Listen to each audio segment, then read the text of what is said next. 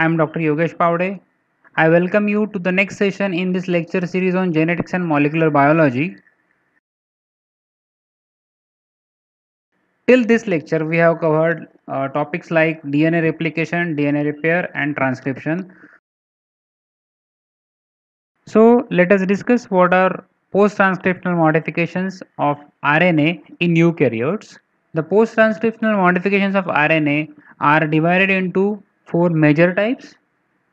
Those are RNA cleavage, then there are uh, mechanisms like addition of specialized nucleotides at ends of RNA, then there are certain chemical modifications of nucleotides.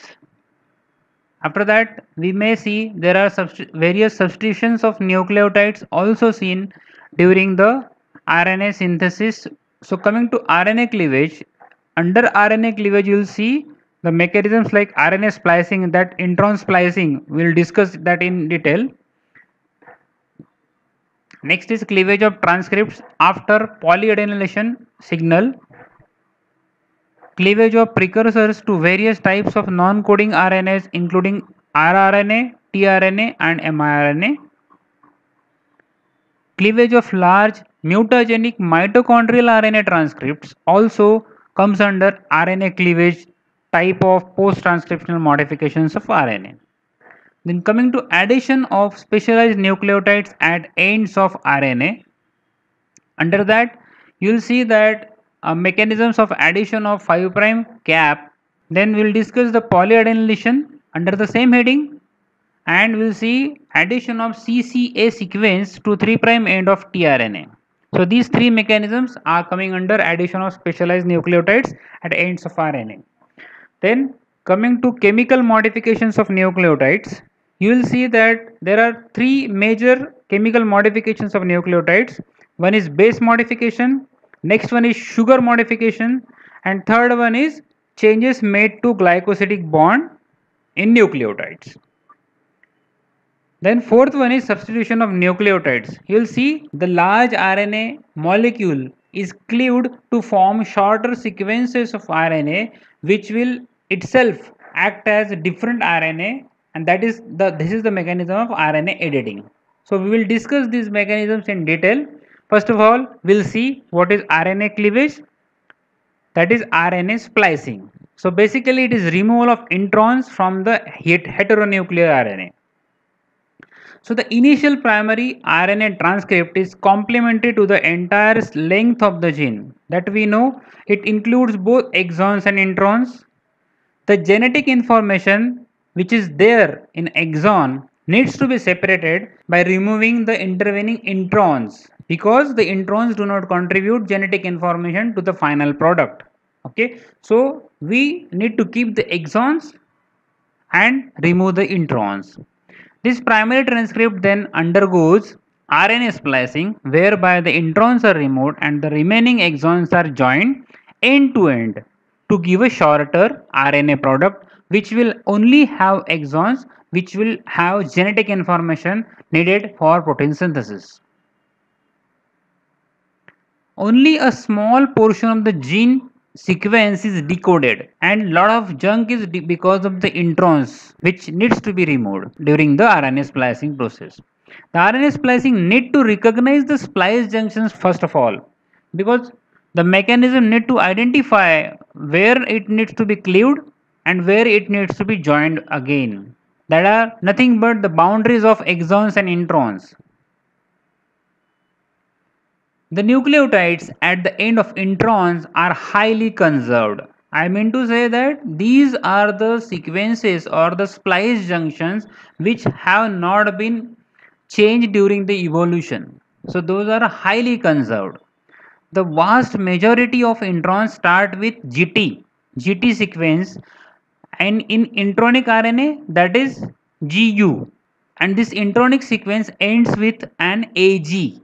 So GT to AG rule is followed here and this GT to AG rule is highly conserved during the complete evolution. So introns are starting with GT and ending with AG. Okay, the conserved GT and AG nucleotides are not sufficient to mark the limits of an intron. there are other mechanisms also which brings about specificity to the RNA splicing mechanism. The nucleotide sequences immediately adjacent to GTAG are also quite highly conserved.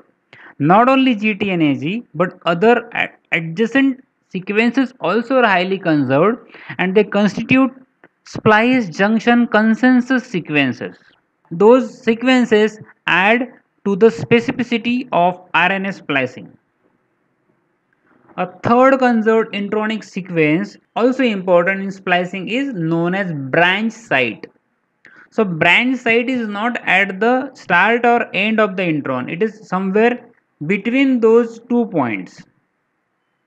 And it is typically located no more than 40 nucleotides upstream of the intron's 3' terminal AG. So that means the branch site is present between the start point and end point that is GT and AG of the intron sequences. So approximately 40 nucleotides upstream means before the 3 prime terminal AG of intron sequence. The other exonic and intronic sequences can promote splicing.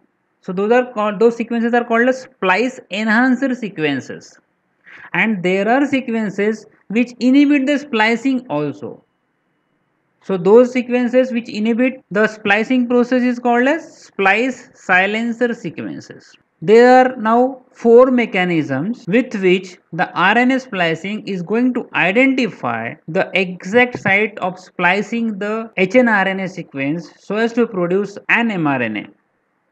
First one is GT and AG rule. Second is splice junction consensus sequences. Third is branch site and there are other sequences also which are splice enhancer sequences and splice silencer sequences which give RNA splicing of specificity and high fidelity of RNA splicing and you know mutations in these sequences can cause disease definitely because without which the RNA splicing will not occur properly and the proper protein will not be synthesized.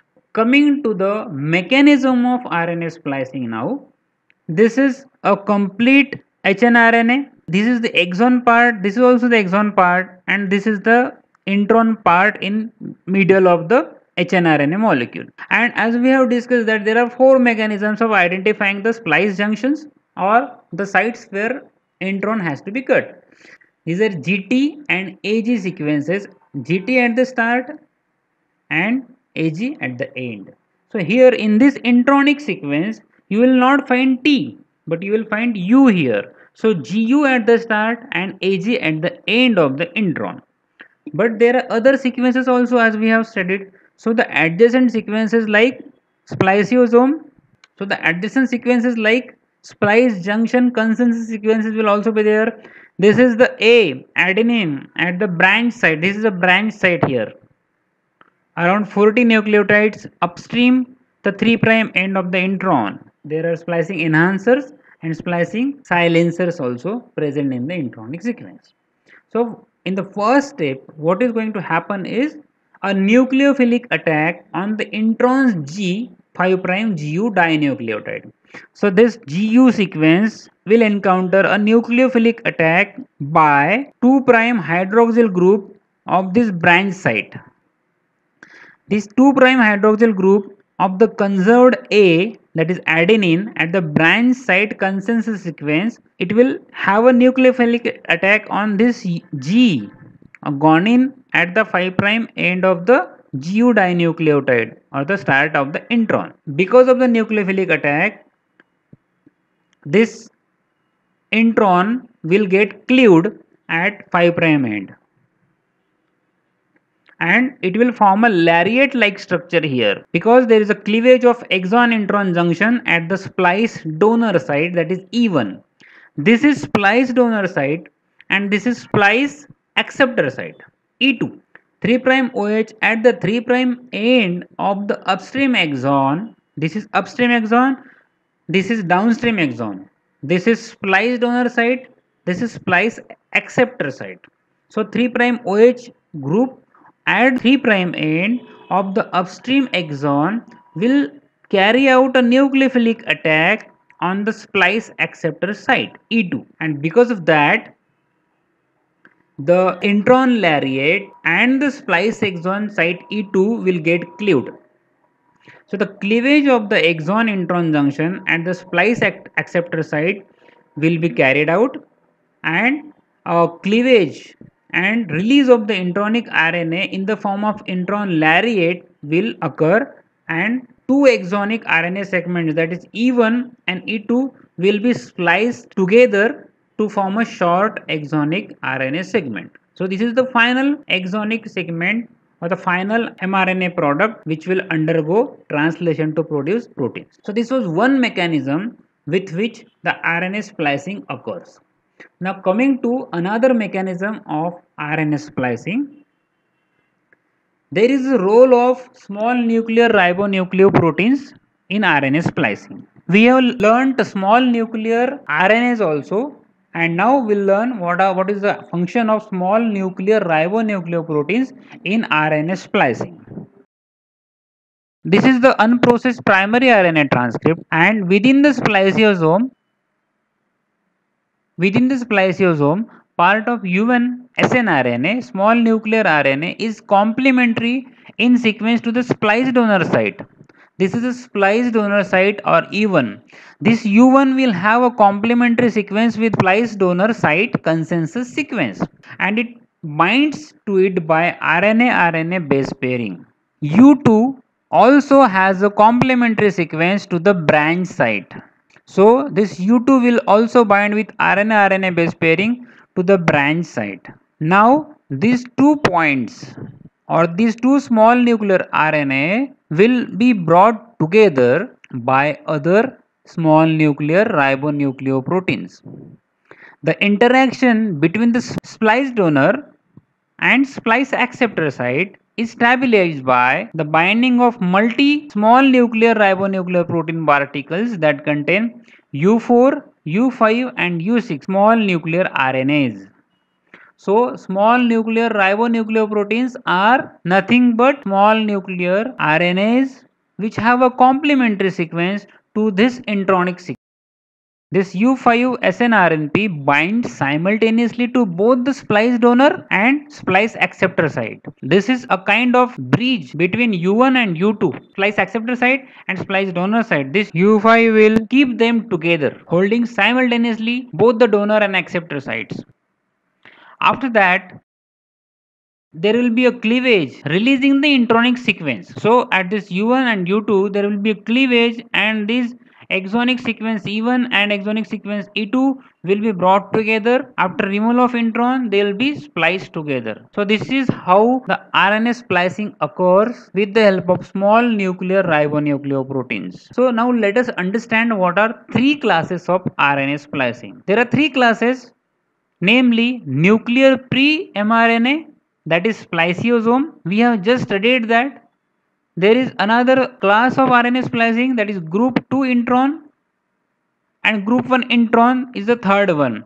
Group 1 and group 2 both are self splicing but nuclear pre-mRNA RNA splicing requires spliceosome. This being the most it is used for most eukaryotic genes. It requires two transesterification reactions and it has involvement of branch site A forms a lariat product and major and minor spliceosomes are also there which carry out RNA splicing with the help of spliceosome. In case of group 2's introns, it is very rare. Both group 2 and group 1 are rare. Some eukaryotic genes from organelle and prokaryotes are spliced with the help of group 2 introns. Nuclear rRNA in some eukaryotes organelle genes and a few prokaryotic genes are, are seen to be spliced with group 1 intron self-splicing mechanism. So far as the transesterification reaction is concerned, the group 2 introns exhibit the similar facts as that of spliceosome mediated RNA splicing. The most important and peculiar thing regarding group 1 intron is it also requires two transesterification reactions but its branch site carry nucleotide G guanine so in which of the class of RNA splicing lariat is not formed that is group 1 introns because there is no adenine there in the at the branch site.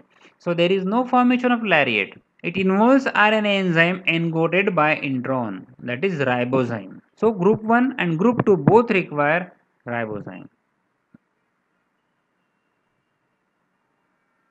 These are the mechanisms which we have just studied about the RNA splicing. This is the spliceosome mediated. This is the lariat formation we studied before spliceosome and this is group 1 self splicing where the branch site has G instead of uh, A at the branch site right. So here the branch site has adenine here also branch site has adenine but here the branch site has G and because of presence of G there is no lariat formation.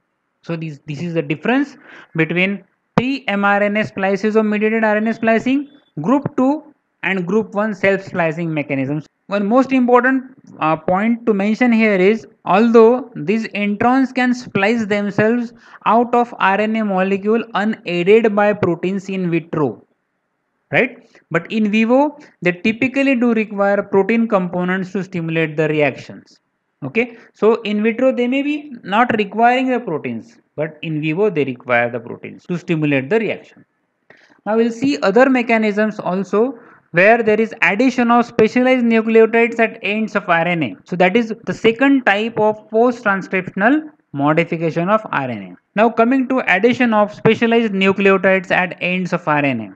So first and foremost is addition of 7-methyl guanosine cap at 5' end of RNA.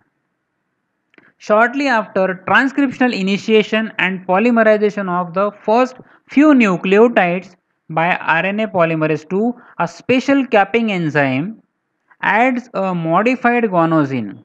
So it is not after the complete formation of hnRNA. Initial few nucleotides gets polymerized then this special capping enzyme will come into role and will place a special cap that is 7 methyl guanosine cap at the 5 prime end of the RNA molecule. But if you see the structure here, this is the first nucleotide, right? And this is the 7 methyl guanosine cap. You will clearly see that it is in reverse orientation from the rest of the RNA. So if we consider this as the forward orientation and this 7 methyl guanosine cap will show you the reverse orientation. So both are facing each other. This is a very peculiar thing of 7-methyl guanosine cap addition of 7-methyl guanosine cap to the RNA molecule. So it will be in reverse orientation from the rest of the RNA molecule. Maybe that is the reason why 7-methyl guanosine cap gives the RNA protection from various nuclease activities. And this 7-methyl guanosine cap is connected through a triphosphate linkage that is 5 prime to 5 prime triphosphate bridge to the first 5 prime nucleotide. Okay so this is 5 prime to 5 prime triphosphate bridge. The 7 methyl guanosine which is added to the RNA molecule by a special capping enzyme the guanosine is not transcribed from the DNA in mRNA synthesis in vertebrate cells the 2 prime carbon of the, of the ribose 2 prime carbon of ribose sugar of each of the two adjacent nucleotides means first nucleotide and second nucleotide of the RNA sequence will get methylated. So this will be the 2 prime O ribosyl methylation 2 prime O ribosyl methylation. So remember this 2 prime O ribosyl methylation in addition to 7 methyl guanosine cap being added to the 5 prime end.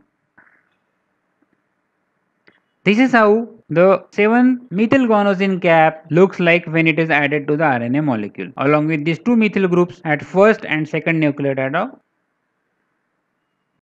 so we'll see the mechanism of addition of 7-methyl guanosine cap to the RNA molecule. So this is the first nucleotide and here with reverse orientation this 7-methyl guanosine cap will be added. So removal of gamma phosphate. So alpha, beta and gamma. So this gamma phosphate needs to be removed it will be removed by RNA triphosphatase okay and mostly this is purine as a first nucleotide in RNA molecule. So the RNA triphosphatase will remove the gamma phosphate of the original terminal 5 prime nucleotide. After that there will be there will be an addition of guanosine monophosphate derived from GTP precursor through 5 prime to 5 prime triphosphate linkage to beta phosphate. Now gamma is removed, beta phosphate is left there on the first nucleotide. So the guanylate transferase will transfer the GMP through 5 prime to 5 prime triphosphate linkage to the beta phosphate of the first nucleotide and then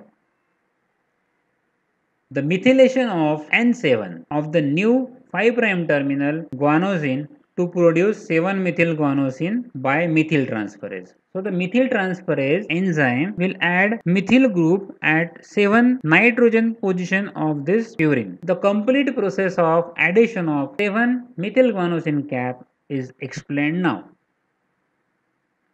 So what are the functions of 7-methylguanosine cap added to the 5' end? As we have already discussed, it gives protection to RNA molecule from 5' to 3' exonuclease attacks. So along with the protection, this 7-methylguanosine cap enables translating machinery to recognize mRNA precisely. It facilitates the transport of mRNA from nucleus to the cytoplasm by properly recognizing RNA molecule with this identifying point that is 7-methylguanosine cap. It facilitates RNA splicing also. It also facilitates attachment of 40S subunit of cytoplasmic ribosome to mRNA during translation process. Okay, so these are the five points or the functions which enables the translating machinery. It prevents the attack from 5' to 3' exonuclease enzymes and the transport is also facilitated Along with that RNA splicing and the attachment of 40S subunit of cytoplasmic ribosome to mRNA during translation is also favored. So this was regarding the functions of 7-methylguanosine cap. Now coming to the next modification of RNA molecule by addition of specialized nucleotides. So we'll discuss poly A tailing at 3' end of the RNA molecule. The 3' end is polyadenylated in the nucleoplasm. Addition of poly A. Many adenosine are added to the 3' end leading to polyadenylate chain addition to the RNA molecule. Like the 5' methylated cap, the 3' end of most eukaryotic mRNA is not encoded directly by the gene. Neither the 7-methylguanosine cap nor poly A tail is encoded directly by the gene. Typically, in a large majority of eukaryotic RNAs, the 3' end consists of 100 to 250 adenylate molecules and that is referred to as a poly A tail. Now we will discuss the addition of poly A tail to the RNA molecule. This RNA polymerase II has a multi-protein complexes required for polyadenylation. RNA polymerase II have many capabilities like helicase, ATPase and protein kinase activities it bears. Along with that, for polyadenylation also, the multi-protein complexes it carries on its own and these multi-protein complexes help in polyadenylation of the RNA molecule. CPSF that is cleavage and polyadenylation specificity factor and CSTF that is cleavage and stimulation factor. These are the two multi-protein complexes here CPSF and CSTF. These are the two multi-protein complexes which are required for polyadenylation of the RNA molecule. These two complexes cooperate to identify a polyadenylation signal downstream. So once the RNA polymerase is synthesizing hnRNA from a DNA template, but there should be identification of the signal where to stop and where to add the polyadenylate chain. The polyadenylation signal is downstream to the termination codon. So even beyond the termination codon, this polyadenylation signal will be present and it will cut the transcript. The polyadenylation signal comprises an AAU-AAA sequence. So AAU AAA sequence or close variant of the same or some poorly understood downstream signals are also there which subserve the function of polyadenylation signals during the transcription of DNA. The cleavage occurs normally about 15 to 30 nucleotides downstream of the AA UAA signal here. This is the polyadenylation signal and the cleavage is going to occur after 15 to 30 nucleotides. And the AMP residues are subsequently added by poly A polymerase. So poly A polymerase is the enzyme which adds AMP residues to the RNA molecule to form the poly A tail. Now poly A tail at 3 prime end is thought to protect mRNA from 3 prime exonuclease. The poly A tail also help transport mRNA to the cytoplasm from the nucleolus. It stabilizes at least some mRNA molecules in the cytoplasm. They enhance recognition of mRNA by the ribosomal machinery. So both 7-methyl guanosine cap and poly A tail are helping transport mRNA from nucleoplasm to the cytoplasm, stabilizes the mRNA molecule in the cytoplasm. They enhance recognition of mRNA by the ribosomal machinery and protect mRNA from 5 prime to 3 prime and 3 prime exonucleases respectively. These are the functions of poly A tail. Now coming to addition of 3 prime CCA sequence to tRNA.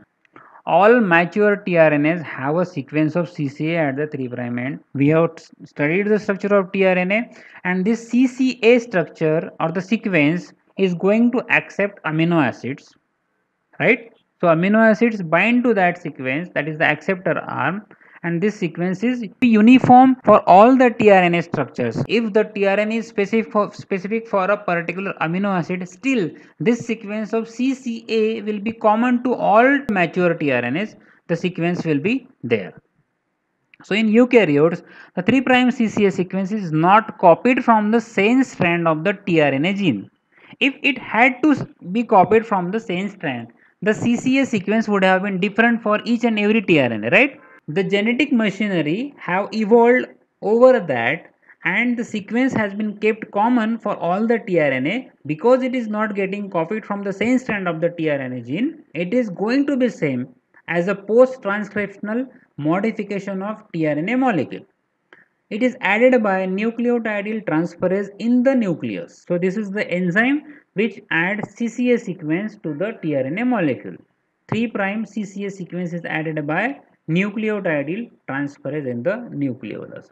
This sequence is vital for ensuring correct recognition of the enzyme that will covalently link to the correct amino acid to the end adenosine. So this CCA, this adenosine will accept correct amino acid and it will ensure the correct recognition enzyme. Only after correct processing, tRNA shall be exported to the cytoplasm. So only after correct processing, after addition of CCA sequence, the tRNA will be exported to the cytoplasm. Now coming to the significance of 5' capping and poly A tail in translation not the transcription because we have just studied the significance of 5' capping and poly A tail in transcription but now we'll discuss what is the significance of 5' capping and poly A tail in translation that is synthesis of protein. Both the methylated cap and poly A tail are crucial for efficient translation of the mRNA into protein even though neither helps specify an amino acid. So the amino acid is specified by methylated cap or poly A tail. But still for efficient translation of the mRNA into protein, these post-transcriptional modifications are required. The eukaryotic translation initiation factors binds to the 5' cap and helping translation process in eukaryote to start. The poly A binding protein associated with poly A tail at the 3' end and interaction of which shapes the mRNA molecule into a circle. So shaping the mRNA molecule into circle by interaction of these poly A binding protein with mRNA molecule uh, helps the translation machinery and enhances the initial steps of translation and stabilizes the mRNA in the cytoplasm by increasing the length of time, it can serve as a messenger. Then coming to chemical modifications of nucleotides, the maturation of RNA involves highly varied modification of nucleotides.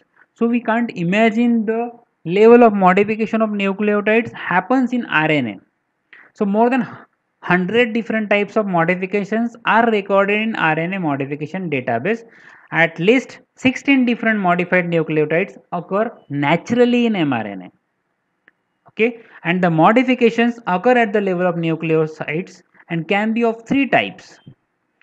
Namely base modification, there is sugar modification, and there is altered glycosidic bonding also leads to modification of the nucleotides.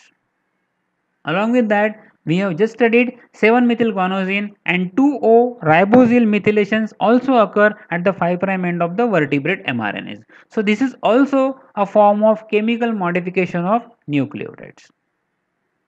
Now let us study what are the chemical modifications of nucleotides. So coming to the base modifications, here the uridine and adenosine are base modified. So uridine is base modified C5 and C6 of uracil are modified to form dihydrouridine. So C5 and C6 of uridine are modified to form because this double bond is removed and only single bond is present. So it forms the dihydrouridine. One more hydrogen is added to 5 and 6 carbon atom. So dihydrouridine is formed. So this is chemically modified. So coming to the second one that is adenosine getting converted into inosine by replacement of 6 amino group by a carbonyl group. 6 amino group here this amino group is replaced by carbonyl group at 6 carbon atom. Okay, so it forms inosine. So adenosine is chemically converted into inosine. Coming to the next variety that is sugar modification. So the ribose sugar getting modified. So let us take an example of 2-O-methylguanosine this guanosine is getting converted to 2O-methyl guanosine. Here the ribose sugar is going to be modified. The 2' OH group of the ribose is replaced by a 1 methyl group. So 2O-methyl guanosine is formed by modification of ribose.